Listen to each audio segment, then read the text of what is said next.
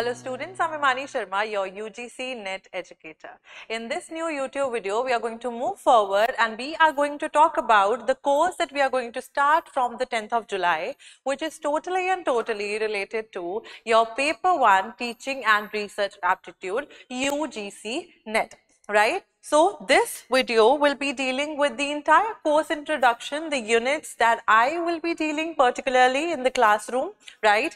And how will we be moving forward with whatever units. So through the course of this video, I will try to first explain you what is UGC NET? We all should be knowing a little bit or a brief about that very particular course, right? And then moving forward, we'll see that what are the different units that the, there are four units that I'll be dealing with and how their syllabus is given on the UGC NTA website and how I will in my classroom be moving forward with the syllabus which is more descriptive than the one which has been provided to us by the NTA or UGC NET website. So without without any further ado, let's just see in here that first of all, what is UGC NET? That it is a qualifying or an eligibility examination for you to become an assistant professor, of course, and a lecturer, or if you want to apply for PhD.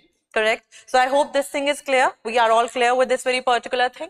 Now there are two papers which are there in the three hour shift. So certain examinations, they do happen in two shifts, certain examination based on the number of, you know, students who are appearing for that very particular examination. They are in one shift or two shift based on the number of students as I already told you. So the paper is held in two ways, right? So you will be having 150 questions out of which we'll have 50 questions for paper 1, correct? And for paper 2, we'll have 100 questions. Now again moving forward 50 questions for paper 1. What are the 10 different units that we are going to deal with? The topic of interest is that we deal or we know this paper 1 as teaching and research aptitude. Whereas paper 2 is based on your master's degree and of course the subject that you have done your masters in along with the minimum eligibility criteria of 55 percentage of marks without rounding them off when you have completed your masters. So of course you need to know this particular thing that for UGC NET examination you'll have to have 55 percent minimum which you have scored in your masters. Now 100 questions here. Of course subject specificity is here Paper 1, common for all. The syllabus is common for, paper is not common for all, of course. Now, 150 questions in totality with 2 marks each and this is conducted in CBT mode that is computer based test mode and of course this is objective or MCQ type, which means that you will be having four options there, A, B, C, D, and of course, you will be answering them according to your knowledge, right? Now, there is no negative marking, which is a plus point, of course, but we will also be knowing this very particular thing that we need to work a little bit more smartly when it comes to this very thing as well. Why do I say that? Because with the accuracy, your percentile in UGC is measured. So we do not want to answer certain questions which we do not really know the answer to. We can make an educated or a wild guess there, but of course that should be educated that you know that this could be the answer. Which question you do not know totally the answer of, you should skip that even if there is no negative marking, correct? So that way we should be working like that. Now our course which is based on paper 1 teaching and research aptitude going to start from the 10th of July. What are the highlights of the course? What are we offering in here in the Drishti, right? Learning application. We are offering you live classes. So every day, particularly, classes will be held live. Of course, you will be live streaming that very particular thing on the Drishti Learning app, of course. When you get registered, you will get access to that very particular thing. Then we'll be having doubt clearing session so that my students do not feel that their curiosity has not been fed, right? So I want you all to be a little curious, have your doubts with yourself and when we have doubt clearing sessions which will be held at regular intervals, I will for sure try my level best to answer all your queries. Now, tips and tricks will be there which will be related to you doing your elimination methods, how we can make educated guesses, how we can do and solve certain questions which are there with a little bit of more smartness. Special emphasis will be put on the current affairs, mostly the current affairs related to higher education unit and of course the people development environment unit, they are there.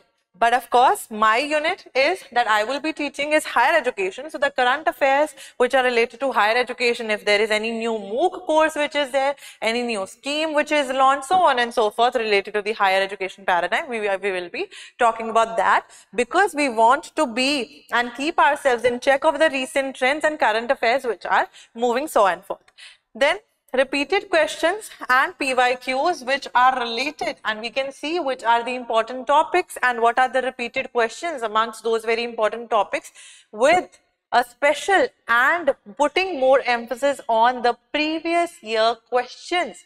So we need to be knowing these very particular things and I would want you all to help me be the one you will be, you know, having your clear of the examination, correct? Then moving forward, we have 10 units in here. Unit 1, 2, that is teaching and research aptitude is the total name of the paper 1. We have 1 as teaching aptitude, 2 research aptitude, 3rd is comprehension, 4th is communication. Fifth is mathematical reasoning and aptitude and sixth logical reasoning. Seventh is DI, data interpretation. Eighth is ICT, information and communication technology. People development environment is the ninth unit and the tenth one being the higher education. This is the, you know, way the unit has been described in the syllabus which is, you know, uh, on the website of NTA, correct? So, of course, roughly the weightage uh, is, you know, five questions roughly five questions from each unit are asked. That could vary from one unit a little bit right? So that makes 50 questions because we have 10 units in here. So first unit that I have the screenshot here is of the syllabus of research aptitude uploaded on the UGC NET NTA website. So we'll be dealing with here in that we they have asked us that we should know what is research, what are the meaning, what are the types, what are the characteristics of research along with the post Is positivism and positivistic approach, correct? We also should be able, that is what they are saying or asking us to do, that method, what are the different methods of research? Experimental, descriptive, historical, what is the differentiation between qualitative and quantitative methods, correct? Steps of research, really important in time and again questions related to, or, you know, arranging them in a sequential or a chronological manner has been asked. Thesis and article writing with special emphasis on formats and styles of referencing. I will be dealing with that. You need not worry. Then we have application of ICT in research. How do we use ICT in the field of research when it comes to data collection? When it comes to data analysis, when it comes to checking certain thing that we have written down as a research paper to check it for the plagiarism. Hmm? Then we have ethics. We know ethics in general terms, right? We all do. But how ethical, how we should make our research ethical. What are the different types of ethics which should be there? So we all need to be aware of these very particular things. Then we have unit 3, that is comprehension where a passage of text will be given. So you will be provided with the passage, right, having five questions which you will be answering of course and that will be based on these questions will be based on the passage. So of course, I will be showing you certain tips and tricks as in how to go about with doing the comprehension etc. Correct? And of course, then we have another unit, ICT, unit number 8, where we are supposed to know general abbreviations of ICT, what is Wi-Fi, what is WAN, what is LAN, MAN, PAN, etc. Right? What do we mean by GIF? and the terminology which is there. What is firewall? What is a router? What are topologies? What do we really mean by protocols which are there? Hmm? Then we have basics of internet. What are the different types of network devices? Intranet. What is intranet? Questions are really asked from this very particular thing. Then email. What is the format of the email? Audio and video conferencing, which is really easy, of course, as a topic. Then digital initiatives in higher education right? And ICT and governance. How ICT is helping governing, uh, you know, government of India as well to work with the initiatives of portals such as mygovernment.in. Correct? Now, higher education may they have asked us to be aware of the institutions of higher learning and education in ancient India. So, we'll be dealing with the Vedic education system, how the evolution of higher learning took place from the ancient times to the modern ones along with the post-independence India we will be knowing about and we should be knowing about the pre and the post-independence commissions which were there. Hmm? Oriental, conventional and non-conventional learning what is the traditional way of learning? How do we learn things in the traditional manner? Apart from that, how do we learn things in a non-conventional way? We will be talking about that as well. Professional, technical, skill-based education. There are certain frameworks such as NSQF, right? National Skills Qualification Framework we have certain schemes like Skill India. How and what are they? Certain courses which are professional, which are vocational, job oriented, certain courses which are technical, you know that how they are, what they are and how do they work. Hmm? Value education and environmental education which is not paid that much heed to, we will be talking about how now the Ministry of Education has also asked, of course, to inculcate certain courses which are related to establishing the values in students and of course the environmental education that how it is there as at least one or two semester course to be there in your bachelor's etc. Policies, governance and administration, to be honest, there are rarely now questions asked from this very particular point, this very particular topic, but we will not be missing it, of course. We will be dealing with the Constitution of India, how and from where it has been derived. Lok Sabha, Rajya Sabha, we also will be talking about other things such as the powers of the president, prime minister, vice president, how they all are elected, what is the eligibility criteria, correct? So this was in the previous three or four slides I tried to show that what was there on the UGCNet website but now I will be telling you how will I be moving forward and taking you all along on the journey of cracking UGCNet JRF correct. So of course first we will be dealing with research aptitude where we'll be talking about the definition how and why do we call it research? What is the etymology of this particular word right? What is the definition meaning the introduction what motivates people to get enrolled in a course which is related to research? Why do they feel like they want to research a certain topic right and a certain you know objectives and characteristics? Characteristics like we have objectivity. We have reliability right? We have validity we have the researches, cyclical, correct? So on and so forth. We have questions related to research, you know, what is reliability and validity and how they are different from one another and questions related to statement based questions related from these very particular characteristics have been asked. So we will be dealing with all these characteristics which make a work, a research work, right? Like just a work of art. then we'll be dealing with epistemology what is the study of knowledge and how do we really know things? What are the different sources and ways of knowing things? And of course, the different types of research paradigms such as empiricism, where we learn through our experiences, rationalism, where we talk about, we think with our reason, our rational mind, right? Constructivism, how certain thoughts are created or constructed and this is mostly used in the teaching learning process. positivism and post-positivism, how one is related to science, the other is related to science and common sense and how they are different from one another, yet they are somewhere or the other, there is some characteristic which is similar to them.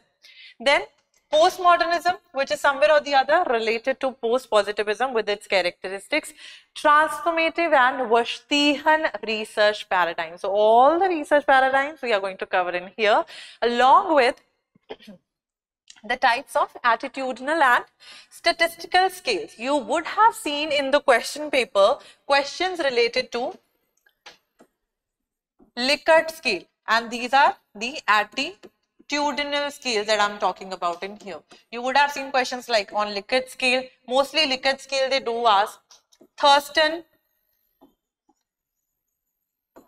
right, Guttman scale, all of them and of course, when it comes to the statistical scales part, you would have seen certain questions which are based on, let's just say, nominal, ordinal, interval, and ratio scale. They ask questions like what and how do we arrange these ones? What are the characteristics of these scales? So in match the following these questions are asked based on the statistical skills you would have. I sure i am sure that you would have if you would have done the previous year's analysis you would have seen questions related to this very particular thing. Then we have types of variables variables like independent variable, dependent variable, extraneous variable, confounding. And why do we call a confounding variable like that? What is the meaning of confounding in here when used in research? And independent and dependent, really easy, seem really easy, but what is the meaning here? So this unit is most daunting according to the students, but it is, trust me, really easier. Then we have probability and non-probability sampling techniques, which are two categories of how we collect samples from the population which is there, how we are moving forward with it and they have their subtypes. So worry not, we will be dealing here in the probability with acronyms or mnemonics. Correct? Then we have types of biases. Sometimes while conducting a research, a researcher is somewhere or the other intentionally or unintentionally biased towards his design maybe. The measurement, the sampling bias. What are the different types of biases? We'll be talking about them as well, along with the hypothesis and types of errors null hypothesis. Why it is called null hypothesis and there is an alternative hypothesis as well. What are the different names of alternative hypothesis? If you see certain other thing in the examination, you know that we have another name for alternative hypothesis as well. Types of errors like alpha and beta errors and what is the level of significance? How much error can you make in your research, right? All the percentages etc we'll be talking about and we'll be seeing alpha and beta errors how they are different from one another. Moving forward we have types of research where we will be moving from forward from basic fundamental pure research to analytical descriptive historical right? Ex post facto action research experimental research. And when i talk about experimental research in here we'll be talking about two types of designs. One being the true experiment, the other being the quasi-experiment design. Correct? What makes a true experiment? What are the characteristics of an experiment being the true one and the quasi one? You, just like me, as I feared this very particular word, I did not know the meaning of, but then I studied. This is really easy, trust me. So we'll be de dealing with that thing as well, making the things easier. What are the subtypes which are there when it comes to, you know, the types which are under the experimental research? Methods of research, what are the correct application of ICT? How there is a different, you know, altogether we use ICT in small, small things, maybe to check our grammar, correct? Maybe to collect data, maybe to analyze data as well using the Excel sheets, correct? What are the different phases in data collection? How do we analyze those things? Steps of research, already told you, you are asked question from in here. Research presentation, which will be including symposium, colloquium. What do we mean by a meeting? What do we mean by a seminar, a webinar? All these things in here and the research schemes under Ministry of Education. What are the research schemes? Correct? And of course, the ethics, we talked about how morally we should be correct while conducting research as well. How we should be honest, we should be maintaining confidentiality of the participants who do not want their information to be disclosed outside, right? How we should be maintaining objectivity, so on and so forth. Impact factors, how we will be dealing with that. What is an impact factor of a journal? How, if I want to get my paper published, where and how to find the impact factor of a journal along with the differentiation between dissertation and thesis in India with the formats and styles of referencing talking about MLA, APA and Chicago referencing style. We will be talking about them according to the recent editions which have been there. Then peer review. Now when you write your research paper, article or journal, anything or everything like that, you first want to get it published of course. And you, when, when you send it to a particular journal, they are the ones who will first be reviewing it by a team. So the team, the experts who are dealing with or reading your research paper, accepting or rejecting it will be coming under peer review. Then how to write a research proposal, what are the different paths, how to go about with it. Now when I talk about the entire unit of research aptitude, you should keep this very thing in mind that this particular unit is not and not just about net, but also preparing you for the basics of your PhD where your supervisor, why do they say that we want net JRF qualified candidates? because these candidates who would have prepared for NET will be the ones who will be knowing these very things a little bit, the basics, if not much, because your supervisor also will be telling you much and more about in detail in certain things, of certain things, of course, and you will be at least aware of the basics so that you can, you know, of course, understand what and where they are coming from. So, make and keep this a habit that you are doing it this just not for your you know net key clarity ke liye and clear the net examination be the one who has qualified it but also because you want to do your phd and you should not be embarrassed while sitting in an interview knowing not knowing that what do we really mean by historical research or experimental research correct because that is really important in a whole big lot of picture then we have another unit ICT where we are first of all going to get introduced to the unit. We are going to know what is the differentiation between ICT and IT, how they are different from one another, what are the uses of ICT, components, advantages, weaknesses, characteristics, what makes ICT itself, right? Then the types of learning where we are going to talk about blended learning, we are going to talk about distance learning, e-learning, conventional learning, how we can use different instructional, you know, units as well to learn certain things. We are going to talk about computers. We are not going to miss on any and every minute detail. We are going to do it, correct? The definition, simple things. Generations and types of computers. Which type of computer or which generation of computer used transistors vacuum tubes vlsi etc and what are the different types of languages which were used in there? Peripherals of computer where we'll be talking about the input output and storage devices. Hmm? Then we have components of computer, etc. Other things which are related. Differentiation between hardware and software, which also has been covered in the concept series. Programming languages and language processors like assembler, compiler, and interpreter. How they are different and how they are similar to one another. Hmm? Then, of course, we are also going to talk about internet, its history. Was it known as ARPANET? We'll be talking about that. How it works, what are the uses of internet, the advantages, disadvantages, etc. IoT, that is internet of things.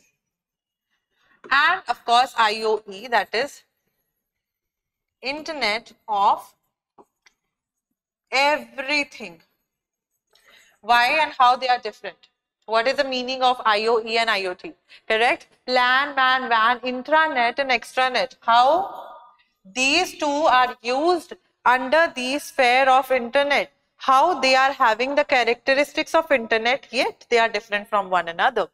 Network topologies like bus topology, mesh topology, star topology, ring topology, etc.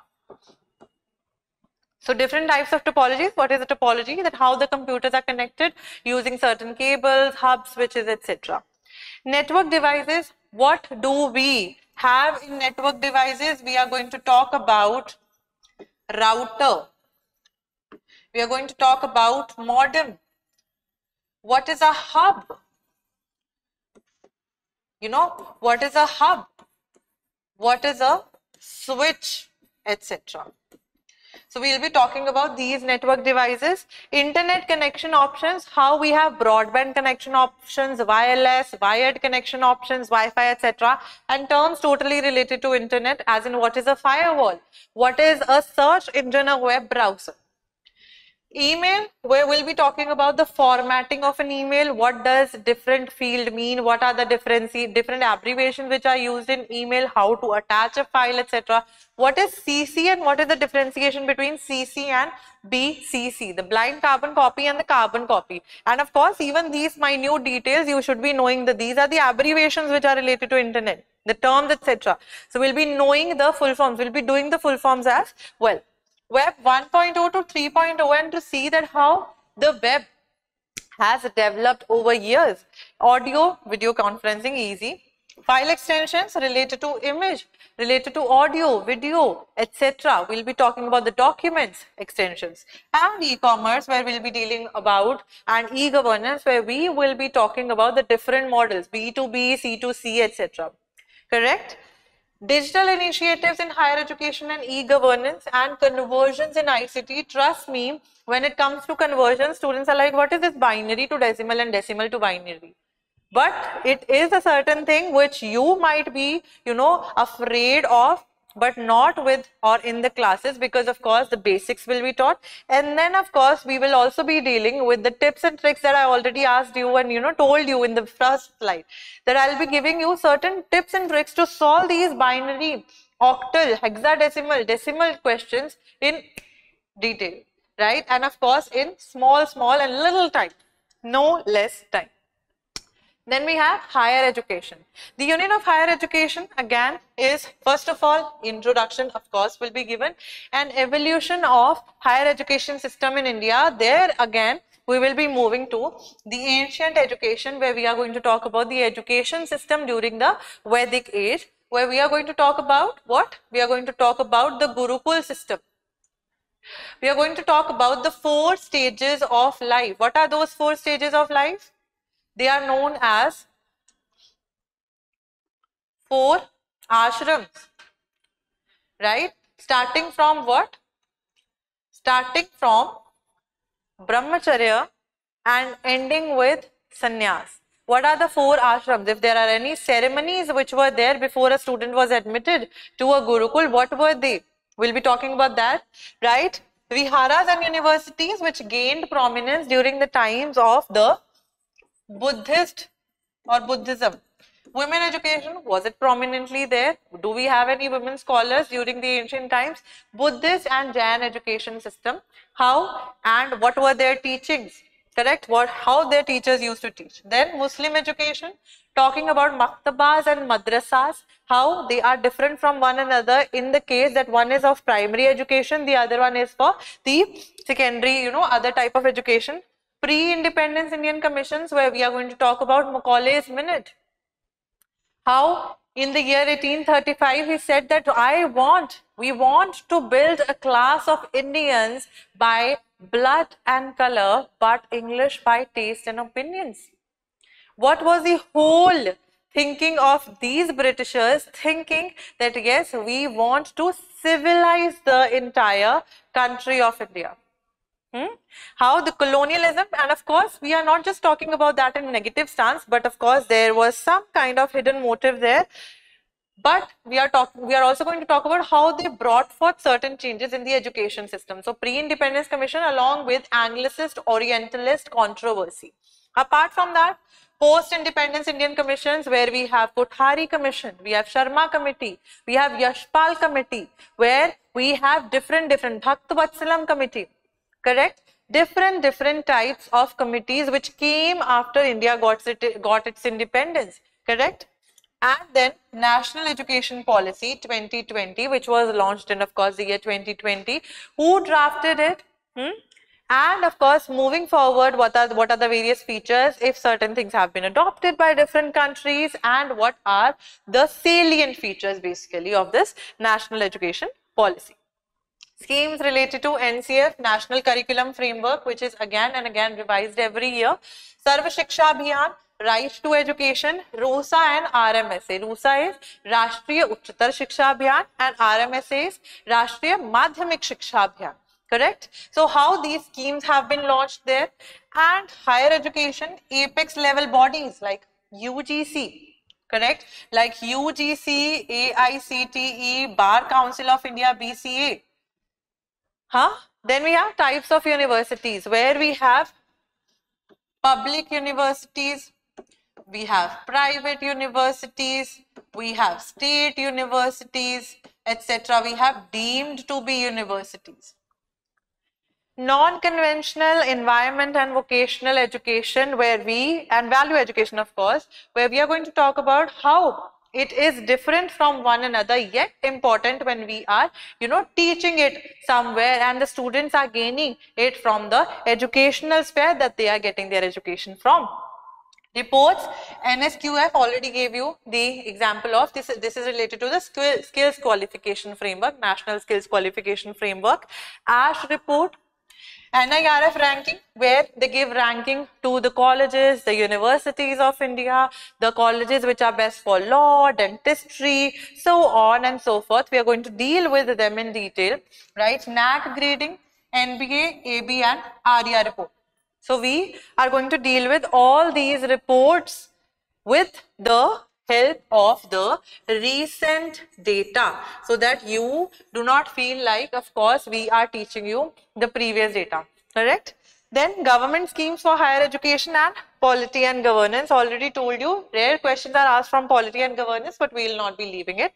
Coming back to the government schemes for higher education one thing that of note i want to tell you all is that the schemes which come under the higher education sphere, the schemes which are related to research and ICT, they all are interrelated because of course, if anything, you are doing your research under one particular scheme, that scheme will be using ICT of course, hence it is related to the unit of ICT and for more, you know, moving forward, it comes under the higher education paradigm because you are doing your research in the higher education field, correct? So these three things, even certain schemes will be, you know, repeated from one unit to the other. So we'll be working smartly in there, correct? Then we have, again, I have the entire overview of the course which is going to, we gave you how I will be moving forward with the classroom series which is supposed to the course in uh, you know which is going to start from the 10th of July where we will be dealing and of course teaching you all through the live classes and clearing your doubts in the doubt sessions which are going to be conducted at regular intervals. Moreover, special emphasis on current affairs which according to my unit that I have is of higher education. Hmm? Repeated questions and PYQs based on the important topics and the recent trends as in we'll be analyzing the PYQs and seeing that how and what kind of questions are they asking so that we are more and more comprehensively and smartly prepared for the upcoming UGC NET 2023 December 2023 cycle.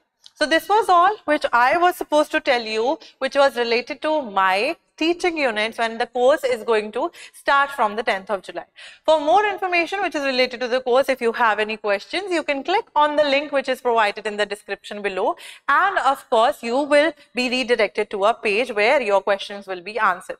I will see you again until and unless in another video. We all will be studying together and I hope you all enroll for the course in the upcoming time. Thank you so much and have a good day. Bye-bye.